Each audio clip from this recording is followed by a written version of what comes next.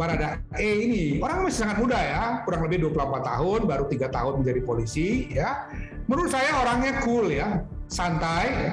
Itu saya tanya misalnya, Anda tahu nggak kalau uh, kasus ini itu uh, sudah menasional? Dari mana kamu tahu? Apa perasaanmu? Saya tanya itu. Untuk kamu tahu nggak kalau Bapak Presiden bahkan punya atensi terhadap kasus ini?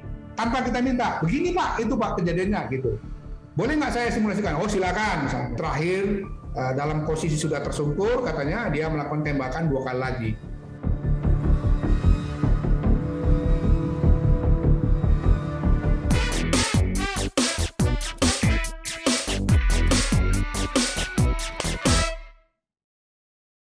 Halo, ketemu lagi di Newsmaker Medcom.id, obrolan hangat one on one bersama saya Alfa Mandalika. Komisi Nasional Hak Asasi Manusia atau Komnas HAM terus menyelidiki misteri kematian Brigadir J. Pekan ini berbagai pendalaman dilakukan oleh Komnas HAM.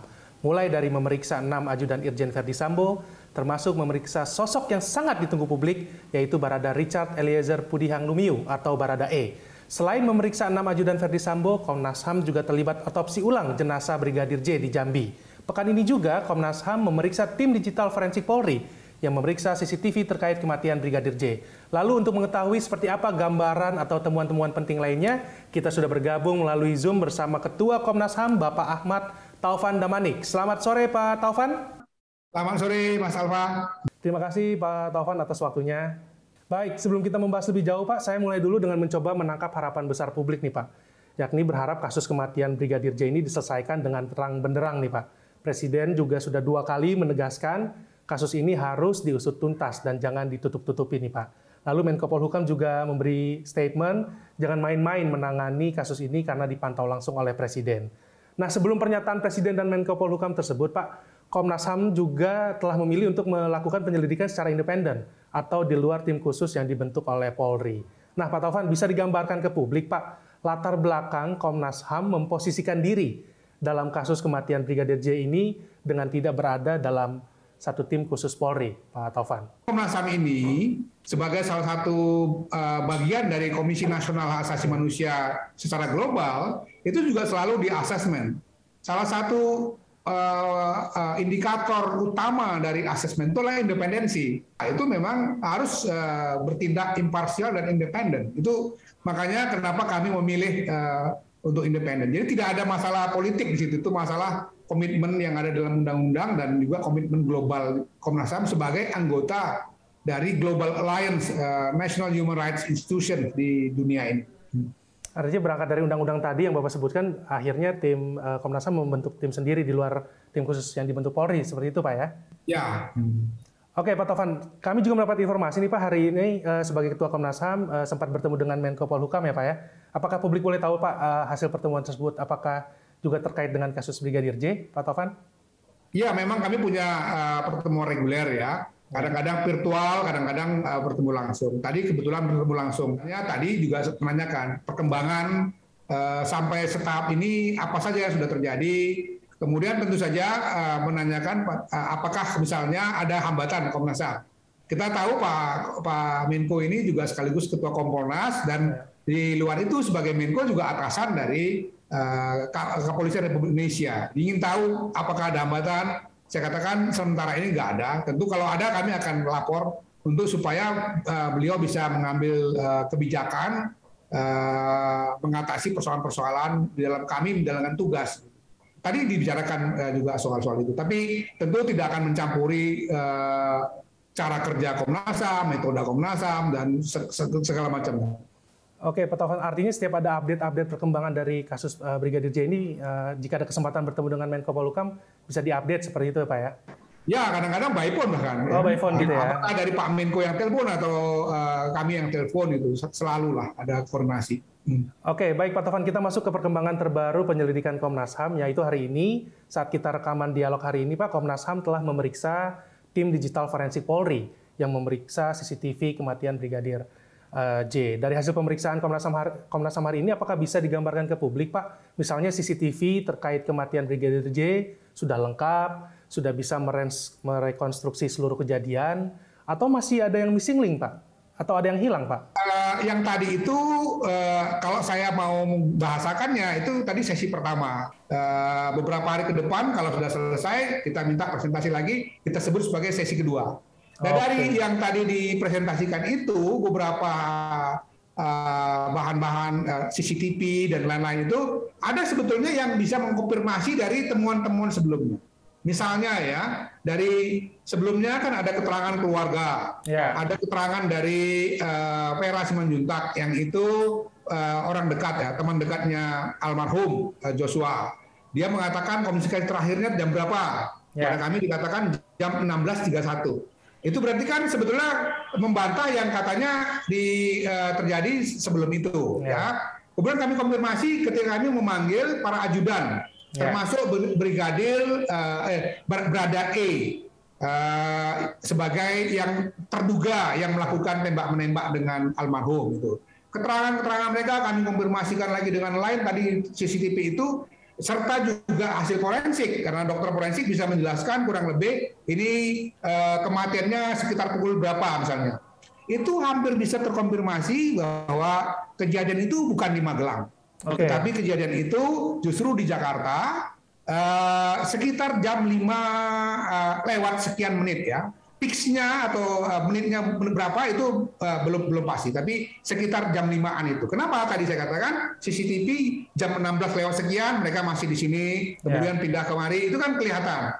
Kemudian juga ada beberapa peristiwa lain yang dijelaskan termasuk tadi keterangan Pera yang jam 16.31 dia masih bertelepon ke Yosua uh, mendengarkan uh, bahwa di, di sekitar Joshua itu ada orang-orang lain yang mereka uh, mungkin sedang kongko-kongko ya pulang dari uh, Magelang cukup jauh jadi istirahat kongko-kongko uh, bercanda itu ada sebuah kedengaran suara orang tertawa-tertawa terkonfirmasi dengan keterangan dari ajudan-ajudan memang katanya mereka setelah sampai di rumah Pak Ferdi Sambo dan Ibu ya, artinya rumah pribadi ya, bukan yang yang dianggap sekarang sebagai TKP.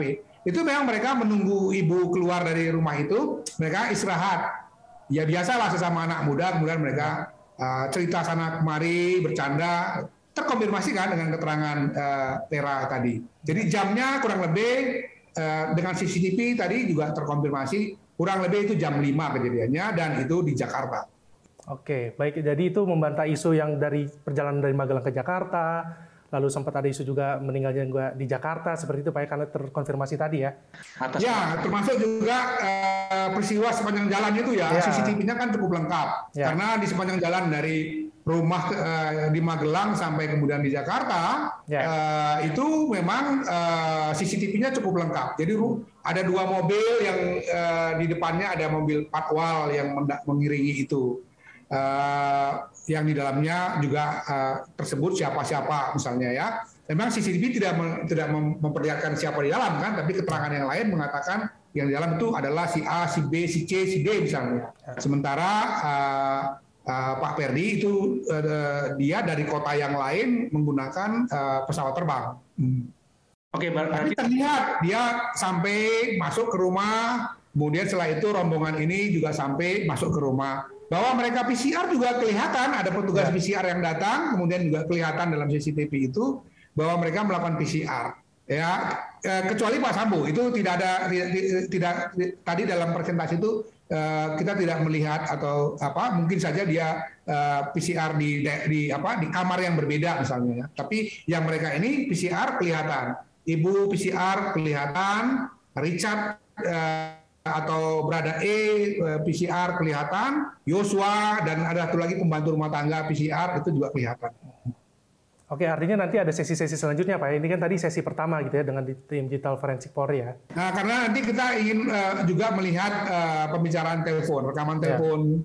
satu bulan terakhir atau tiga bulan terakhir, WA misalnya kita kan mau tahu apa pembicaraan mereka. Ya uh, menjelang uh, atau sebelum hari kejadian, menjelang hari kejadian pada hari kejadian itu. Itu penting karena ada uh, persoalan kan dengan uh, bukti-bukti uh, lain yang mungkin di TKP atau yang diduga ya saya katakan diduga TKP itu uh, tidak terlalu uh, sempurna misalnya. Hanya ada kesaksian Baradae dengan satu ajudan lain yang katanya mendengarkan uh, ibu ini berteriak, kemudian terjadilah peristiwa tembak menembak antara dua orang ini gitu. Itu kan uh, uh, sangat sangat baik kalau misalnya dia dibarengi dengan bukti-bukti uh, chat mereka misalnya ya. atau bukti komunikasi by teleponnya. Nah itu yang tadi dikatakan oleh tim uh, forensik digital ini itu belum uh, mereka uh, selesaikan. Nanti kita tunggulah itu untuk melengkapinya. Oke, okay. baik Pak Tovan, kita bergeser ke isu strategis hari ini yaitu autopsi jenazah Brigadir J di Jambi. Komnas HAM juga mengirimkan tim ke Jambi untuk mengikuti proses autopsi ulang Brigadir J ini Pak. Nah dari berbagai penyelidikan yang sudah dilakukan oleh Komnas HAM, apakah autopsi ulang hari ini Pak akan menjadi kunci utama nih Pak untuk memecahkan kasus kematian Brigadir J? Atau seperti apa posisi penting autopsi ulang hari ini Pak Tovan? Jadi begini, uh, kami itu mendapatkan informasi ini yang dari Komnas ya, kami mendapatkan informasi uh, keterangan dari keluarga, okay. dari ayah, ibu, adiknya, tantenya dan macam-macam yang melihat langsung jenazah ketika okay. sudah diserahkan pada keluarga. Mereka punya fotonya, punya videonya, gitu. Kemudian kami perbandingkan dengan apa yang disampaikan oleh uh, tim dokes dalam hal ini yang melakukan uji forensik itu. Ya. Nah, ada beberapa yang sudah terjawab uh, uh, itu harus diabaikan. Misalnya uh, kuku dicabut. Keterangan ya. keluarga juga nggak ada tentang kuku dicabut. Dan dalam uh, laporan forensik juga nggak ada itu. Jadi ini kita harus abaikan. Tapi kan ada beberapa lagi yang itu belum sinkron ya. Misalnya keluarga atau pihak uh, penasihat hukum masih meyakini ada beberapa luka-luka itu adalah akibat bukan akibat peluru tapi akibat uh, tindakan yang lain. Ya. sebut saja misalnya dugaan penyiksaan Nah, sementara dari pihak forensik berbeda. Menurut mereka ada berapa luka-luka selain lubang peluru itu, itu disebabkan oleh uh, uh, pecahan peluru yang rekoset. Misalnya kena mata itu yang rekoset, kan gitu. Nah, ini kan berbeda pandangannya. Jadi, ekshumasi yang tadi dilakukan itu bagi kami itu akan sangat bagus untuk memfinalisasi. Selain okay. kami juga menggunakan pendapat ahli independen kami yang uh, kami mintai pendapatnya sebagai ahli, sebagai expert untuk menjelaskan data-data yang sudah kami kumpulkan ini. Tapi mohon maaf ya kalau ahli independen kami memang kami nggak bisa publikasi, ya. tapi adalah orang yang uh, sangat terpercaya karena dia ahli dalam bidang forensik Kenapa ini diperlukan? Untuk menjadi pembanding. Kami nggak bisa terima begitu saja, ya. Bukan berarti tidak percaya, tidak menghormati ya. dokter forensik yang uh, sudah bekerja itu. Kita sangat menghormati mereka, tapi untuk meyakinkan kami pada satu kesimpulan tertentu, kami juga perlu mendapatkan keterangan ahli independen kami. Oke, baik Pak Taufan melihat temuan-temuan Komnas HAM sejauh ini, Pak, dan juga pemeriksaan Komnas HAM terhadap tim forensik Polri yang melakukan otopsi pertama, apakah ada peluang otopsi ulang akan berbeda dengan otopsi pertama? Pak. Wah itu saya susah untuk memastikannya ya. Ya sebaiknya kita menunggu saja. Eh, tadi saya dapat laporan katanya eh, kondisi jenazah eh, almarhum Yosua ini ya. belum terlalu rusak. Nah mudah-mudahan yang ini karena tadi juga eh, keterangan beberapa dokter karena sudah diformalin dua kali ya bahkan jadi poren, uh, dokter forensik memformalin, kemudian setelah itu juga keluarga uh, menambahkan formalin ketika sudah sampai jenazahnya di rumah duka di Jambi. Jadi uh, uh, tadi informasi kami dapatkan kondisi kondisinya belum terlalu rusak lah dibandingkan uh, kalau seandainya jenazah-jenazah lain yang sudah lebih dari dua minggu dan sudah dimakamkan misalnya. Oke, Oke, baik Pak Taufan, kita bergeser ke penyelidikan yang paling diikuti publik, yaitu pemeriksaan Komnas HAM terhadap Barada Eliezer. Untuk pertama kalinya Barada E muncul ke publik di kantor Komnas HAM. Nah, Pak Taufan, publik penasaran nih Pak, seperti apa sih sosok Barada E yang sebelumnya oleh polisi disebut sebagai penembak Brigadir J? Kalau boleh digambarkan seperti apa sosok Barada E, apakah terkesan tertutup, seperti pengakuan tetangga Barada E di Manado, atau seperti apa Pak Taufan? Ya, saya sebelum memulai pemeriksaan terhadap uh, Barada E ini, orang masih sangat muda ya, kurang lebih 24 tahun, baru tiga tahun menjadi polisi, ya. Menurut saya orangnya cool ya, santai. Ya. Uh, jadi sebelum mulai saya ajak dia bincang-bincang, ya. satu ruangan tertentu ngobrol gitu. Saya tanya misalnya, Anda tahu nggak kalau uh, kasus ini itu uh, sudah menasional? Ya. Tahu pak? Dari mana kamu tahu? Nonton televisi ya? Apa perasaanmu? Saya tanya itu. Untuk ya dia bilang ya senyum aja dia. Uh, tapi tidak terlalu menunjukkan misalnya satu kecemasan yang tinggi itu enggak. Tapi kalau saya bilang dia tidak cemas ya nggak nggak nggak mungkin, pastilah cemas. Tapi tidak menunjukkan satu ketakut kecemasan yang luar biasa. Jadi dia cukup tenang, okay. cukup tenang. Saya ngobrol lagi, saya bilang, kamu tahu nggak kalau Bapak Presiden bahkan punya atensi terhadap kasus ini, gitu? Nah, itu saya nggak tahu Pak. Tapi dia juga cerita sebelum datang ke kantor Komnas HAM, eh, ketika dia menuju kantor Komnas HAM, dia uh, menonton uh, uh, berita yang uh, ternyata ada puluhan wartawan menunggu dia di kantor Komnas HAM itu. Uh, terus saya tanya, terus perasaanmu gimana? Ya, dia senyum juga ya. Dia tidak menunjukkan satu kesemasan yang tinggi, tapi bahwa dia tenang. Uh, ternyata juga dia seorang olahragawan yang uh, menyukai olahraga-olahraga yang cukup ekstrim. Itu juga mungkin membantu dia jadi punya kepercayaan diri yang tinggi. Nah, ketika kami periksa, penjelasannya cukup runtut, ya, cukup uh, bagus dia dalam menjelaskannya. Bukan soal benar salah ya, jangan nanti orang berpendapat, wah Komnas HAM sudah mudah percaya belum belum bukan begitu tapi menurut saya ketika orang berjam-jam diminta keterangan diulang lagi pertanyaannya dia cukup menjawab cukup bisa menjawab itu dengan konsisten bukan bukan berarti tidak bisa tidak ada pertanyaan yang juga dia misalnya kelihatan agak sedikit uh, bingung misalnya itu bukan bukan begitu tapi secara umum dia menjawab dengan tenang santai kemudian bahkan beberapa uh, peristiwa dia simulasikan tanpa kita minta begini pak itu pak kejadiannya gitu boleh nggak saya simulasikan? Oh silakan misalnya. Jadi dia menurut saya uh, cukup uh, sehat lahir batinnya ketika dia dimintai penjelasan itu. Oke, jadi bisa dibilang sosoknya yang tenang gitu ya Pak Baradae Pak ya? Tenang ya, dan ya menurut saya anak muda yang yang juga santun ya, dia tahulah etika seperti apa. Kesan saya bukan dibuat-buat juga, dia dengan santunnya itu. Oke, Pak Taufan, jam, 5 jam Baradae diperiksa oleh Komnas HAM. Bisakah dikatakan keterangan Baradae ini adalah kunci kasus ini nih Pak, mengingat Baradae dianggap sebagai pelaku penembakan Brigadir J. Lalu apakah ada temuan yang sangat penting dari pemeriksaan Baradae? Mungkin bisa di-share sedikit Pak ke publik?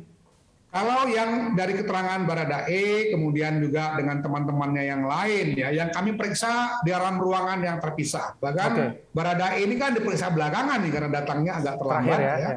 Uh, keterangan mereka cukup sinkron satu sama lain. Karena itu memang kita masih membutuhkan cross check dengan informasi yang lain juga.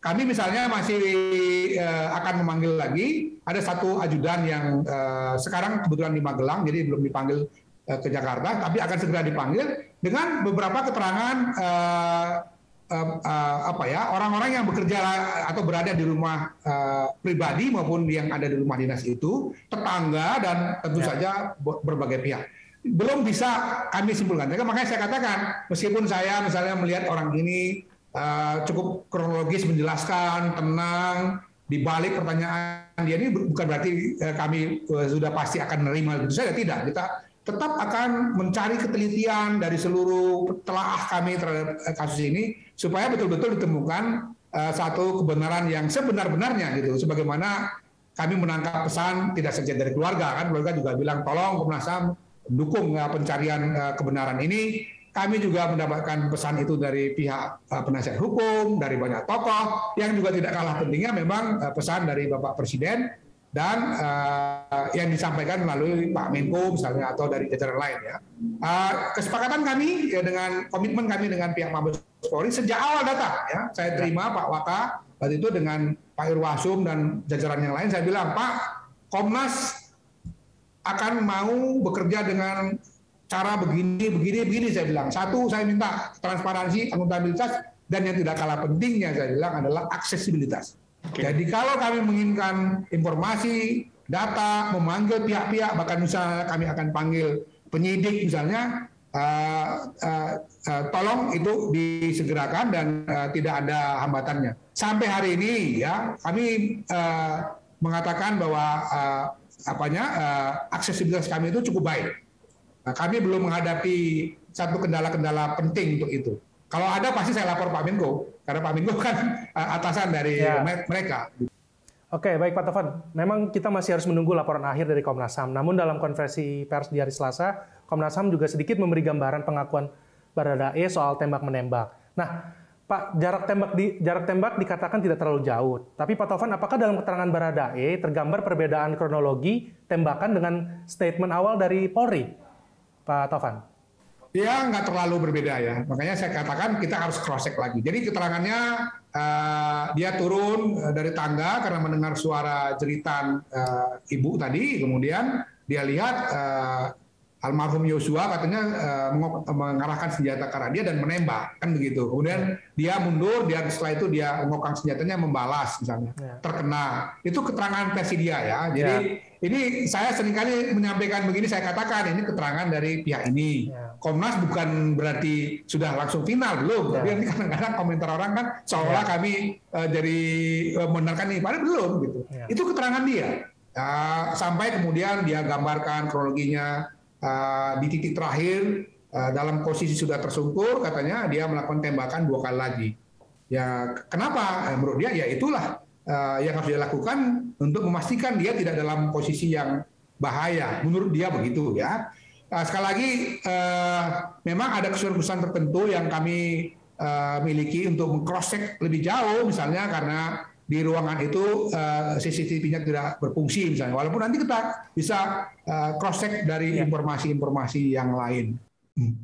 Oke, baik Pak Sementara itu keterangan dari pihak uh, terduga uh, pelaku Barada E dan juga teman-temannya yang ada di dalam uh, tempat kejadian perkara itu. Oke, baik Pak Tovan, masih soal Barada E, menurut keterangan Komnas HAM, Barada E berasal dari tempat yang berbeda dengan ajudan lainnya. Nah, kami ingin konfirmasi nih Pak, apakah tempat berbeda yang dimaksud Komnas HAM itu adalah rumah perlindungan lembaga perlindungan rumah perlindungan lembaga perlindungan saksi dan korban atau LPSK atau rumah pribadi Baradae, Pak? Enggak, dari tempat satuannya, dari Brimob. Oh, Oke. Okay.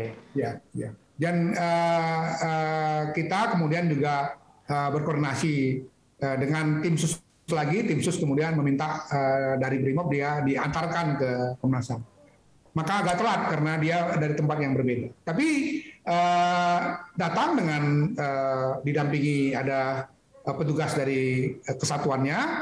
Uh, dalam pemeriksaan ya semua tertutup, tidak ada pihak-pihak lain yang masuk ke dalam ruang pemeriksaan. Sebelumnya bahkan saya juga berbincang tadi saya katakan privat ya. dengan dia ya. Uh, untuk mendetek, mendetek, mendeteksi lah kurang lebih ya kondisi psikologisnya seperti apa. Jangan nanti orang dalam kondisi psikologis yang misalnya ya tidak tidak stabil, terintimidasi, sudah kita periksa ya hasilnya nanti nggak maksimal. Tapi saya meyakini pada waktu itu sehingga saya bilang ke Pak Anam, oke okay, kita saya kira ini sudah uh, layak untuk kita periksa. Saya dan Pak Anam waktu itu yang memeriksa. Hmm. Oke, baik Pak Taufan, kita bergeser ke pertanyaan publik lainnya, yaitu apakah Komnas HAM uh, juga akan memeriksa Irjen Verdi Sambo, Pak? jika akan diperiksa, kira-kira apakah sudah diketahui jadwalnya, Pak Taufan? Cuman kan eh, kadang-kadang uh, publik uh, tidak memahami atau belum memahami, Komnas HAM punya metode sendiri. Misalnya okay. gini aja, dari pihak kepolisian itu mulai dari TKP, kami yeah. mulai dari keluarga. Gitu. Kenapa? Karena itu pendekatan hak asasi manusia. Pertama, okay. selain memang mengumpulkan data, yang lebih penting dari itu adalah empati kepada okay. uh, korban atau keluarga korban. Itu itu itu metode kami yang uh, mungkin berbeda yang lain. Setelah itu kami mengikuti uh, beberapa data yang sudah kami dapatkan, kami teruskan lanjutannya ke data yang berikutnya. Hari ini cyber dan uh, uh, puslapor untuk uh, forensik digital ya.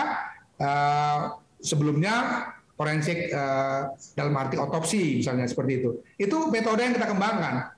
Uh, pertanyaannya apakah nanti Pak Ferdi dan istrinya akan dipanggil? Ya tentu pastilah kalau kalau nggak ya, uh, penyelidikan pemantauan ini ya tentu akan menjadi tanda-tanya besar kenapa yang justru uh, paling uh, terkait dengan masalah ini tidak dimintai keterangan kurang lebih begitu pasti pasti akan kita tapi kita sampai minggu, akhir minggu ini belum kita jadwalkan kita masih menjadwalkan beberapa agenda-agenda lain termasuk tadi sesi kedua pemeriksaan nah, karena tadi data-data ya. yang dibawa belum sepenuhnya lengkap, jadi akan dilanjut lagi eh, pemeriksaan pada sesi yang berikutnya nanti.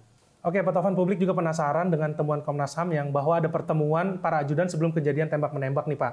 Bahkan muncul keterangan dari para ajudan, mereka tertawa-tawa nih, tak ada tekanan, seperti itu ya Pak ya. Lalu Pak Taufan, soal tertawanya para ajudan dalam pertemuan, apakah ini akan menjadi salah satu faktor kunci kesimpulan akhir. Jadi bukan pertemuan dalam arti seperti ada meeting itu, bukan ya. gitu. Mereka setelah sampai dari Magelang ya. di rumah uh, pribadinya Pak Ferdi Sambo itu ketemu juga dengan uh, staf yang lain.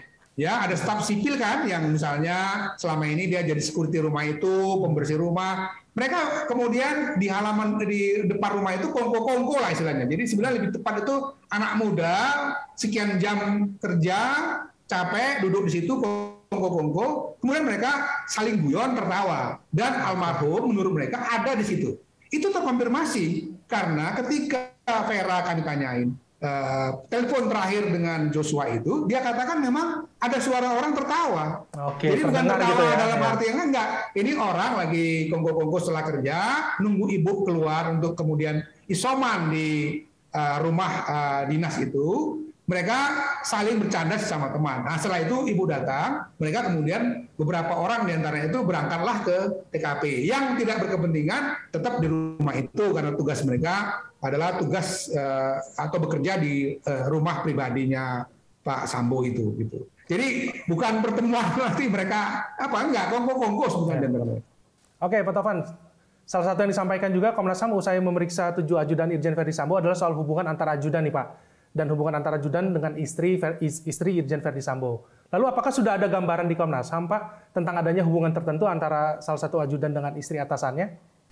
Itu belum ya, tapi yang jelas memang uh, almarhum ini memang ditugaskan untuk menjadi istilahnya penda, yang selalu mendampingi kalau bawa kendaraan uh, yang uh, dengan ibu dia yang selalu nyetir misalnya kan juga salah satu fungsinya adalah kepala rumah tangga jadi dia memang yang mengelola uh, keuangan termasuk misalnya kebutuhan-kebutuhan kan stafnya banyak itu ya. ya.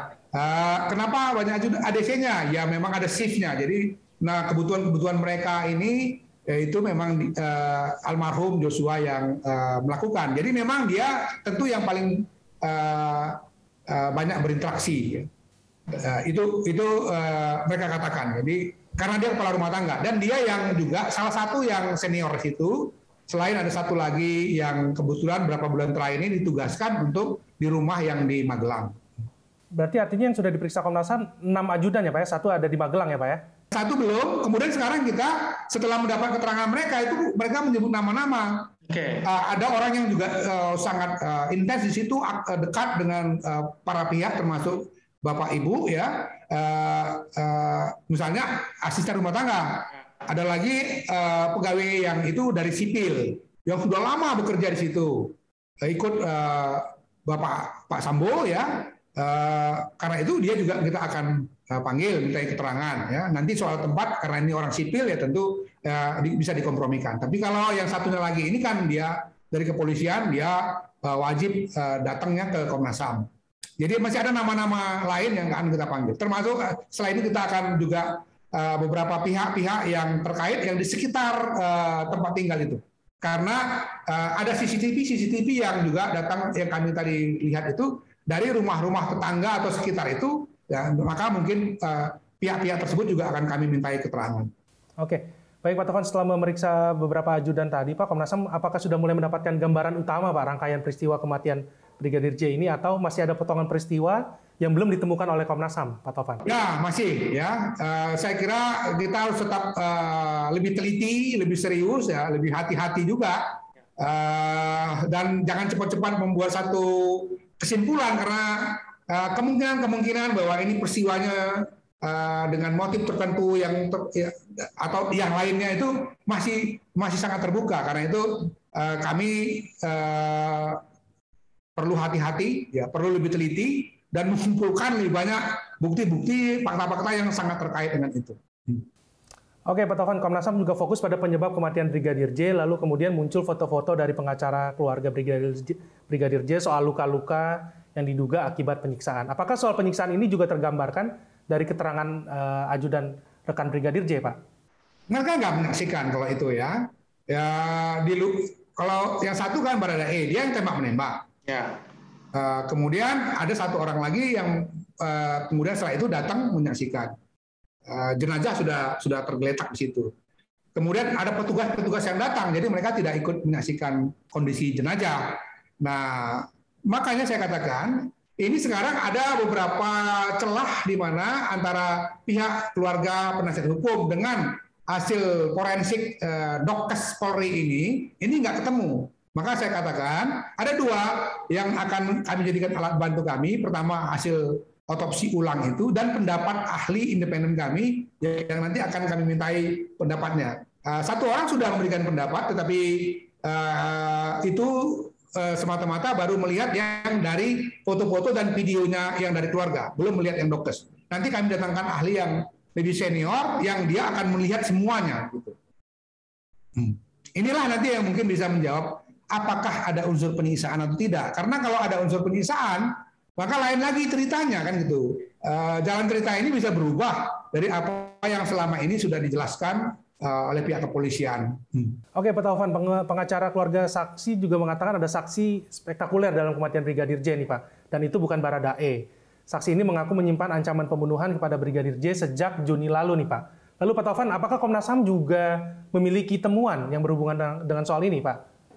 Ya, saya nggak berani memastikan ya, tapi saya menduga sebetulnya itu adalah uh, tadi yang sudah saya sampaikan, uh, Pera, dan itu kan sudah sudah juga dipanggil oleh penyidik ya. Kalau dari Pera, memang um, ada keterangan-keterangan yang mengindikasikan seperti itu. Jadi uh, almarhum ini uh, bercerita bahwa dia merasa bahwa dia tidak aman dan macam-macam kan, gitu. Tapi kan itu pernyataan dari uh, seorang Yosua kepada teman dekatnya ya karena itu apakah benar atau tidak itu kita harus cross check lagi kepada uh, pihak-pihak yang lain. Termasuk tadi kan uh, bantu. Ada yang menduga bahwa uh, ini penembakan di tengah jalan sana tapi kan kalau lihat dari CCTV tadi dia sampai di rumah. Ya. sekitar jam 16.20-an ada uh, apa rekaman CCTV-nya yang dia terlihat PCR kemudian setelah itu pergi dari rumah uh, pribadi itu menuju rumah dinas. Nah, setelah itu tidak ada lagi uh, CCTV karena di rumah itu ada masalah dengan CCTV sejak lama menurut keterangan mereka ya. Sekali lagi keterangan mereka ini kami jadikan satu uh, satu pegangan tetapi kita akan cross check. Uh, kenapa misalnya keberadaan CCTV mengalami gangguan di rumah itu sejak lama gitu. Oke, baik Pak Taufan, closing statement Pak. Silakan sampaikan pesan Komnas HAM kepada publik terkait penyelidikan kematian Brigadir J ini, Pak Taufan. Ya, saya kira saya saya berharap ya, walaupun saya tentu saja nggak bisa eh, membatasi, melarang orang atau apa pun ya untuk berpendapat, memberikan komentar dan macam-macam ya. Saya cuma ingin berharap bahwa uh, ayolah kita ya mengikuti tahapan demi tahapan dari proses penyelidikan baik yang dilakukan oleh Komnas HAM maupun penyelidikan dan penyidikan sekarang yang dilakukan oleh uh, tim sus Mabes Polri itu dan tentu saja dengan semua sekarang banyak pihak terlibat tuh sampai presiden begitu rupa ya. Saya belum pernah mengalami uh, dulu misalnya kayak 50 kan presiden hanya katakan kami mendukung Komnas HAM untuk melakukan. Tapi setelah itu tidak ada dibiarin nanti kita itu. Jalan setelah selesai baru kita kemudian sebagaimana Undang-Undang 39 misalnya yang mengatakan wajib memberikan laporan kepada presiden kita laporkan. Tapi kalau ini kan presiden beberapa kali menyampaikan. Kemudian Pak Pak Menko juga uh, kelihatan uh, cukup intens ya. Nah, bagi kami itu bukan hadangan, justru bagi kami itu memperkuat uh, posisi kami untuk memastikan bahwa pihak-pihak uh, yang kami periksa ini itu tahu bahwa kekuasaan tinggi di Indonesia, masyarakat luas, media dan macam-macam itu itu semua memonitor. Jadi uh, ya bahasa uh, atau bahasa tegasnya ya, jangan main-main lah itu dengan proses ini. Itu saya kira uh, satu indikasi yang baik juga ya sikap-sikap uh, uh, atau respon-respon yang disampaikan oleh pihak pemerintah uh, dari pejabat tertinggi sampai tingkat Menko dan juga yang lain-lain itu. Baik, terima kasih Ketua Komnas HAM Bapak Ahmad Taufan Damanik atas perbincangan di Newsmaker pekan ini. Kita akan berjumpa pekan depan dengan topik dan narasumber menarik lainnya. Saya Alfa Mandalika pamit. Sampai jumpa.